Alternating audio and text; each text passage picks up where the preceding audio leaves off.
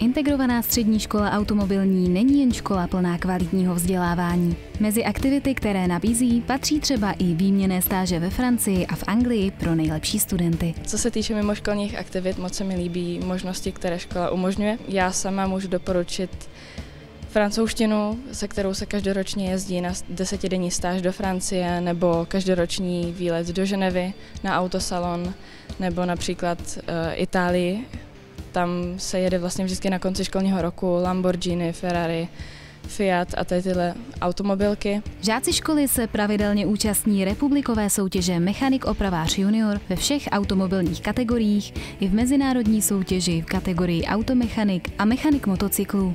V posledních letech se studenti umistují na předních pozicích. Většinou se umistujeme velice dobře, máme tu spoustu ocenění, spoustu výherních žáků. Vyhráli naposledy kluci, myslím, minulý týden eh, v Polsku, takže se nám určitě daří.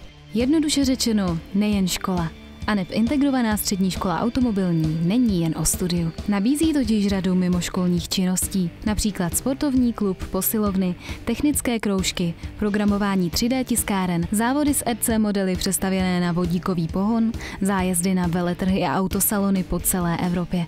Kromě toho mohou studenti pořádat plesy. My jakožto studentská rada pořádáme uh, studentskou párty, ta se nám teď docela vyvedla, přišlo spousta lidí a všichni se náramně pobavili. Kromě toho, že máme velkou prostornou tělocvičnu, ve které je možnost uh, jak, uh, jak spousty turnajů, dneska se tam zrovna odehrává florbalový turnaj, uh, tak máme posilovny, jak dívčí, tak chlapeckou, máme venkovní hřiště, případně se tam dá dělat různé akce, takže tam pravidelně se konají akce Jezdím cool, Eh, které škola pořádá pro nás, aby jsme jezdili bezpečně a aby jsme se v těch autech a motorkách vlastně nezabili. Akce Jezdím cool je zaměřená na začínající mladé a neskušené řidiče. Návštěvníci se zde mohou seznámit s příčinami, ale i důsledky dopravních nehod. Integrovaná střední škola automobilní Brno také pořádá jednu z největších výstav motorových vozidel v Jihomoravském kraji. V rámci autosalonu si návštěvníci mohou prohlédnout více než 40 značek nových modelů motocyklů, osobních a nákladních vozidel, zemědělské a stavební techniky. Každý rok pořádá škola studentské projekty. V rámci toho letošního vznikl originální Kaipan. Co máte v plánu do budoucna? Eh, teďka máme do budoucna v plánu eh, přestavit jedničkou Fabio na závodní VRC Fabio. V rámci polytechnického vzdělávání si mohou žáci ze základních škol vyzkoušet řadu věcí.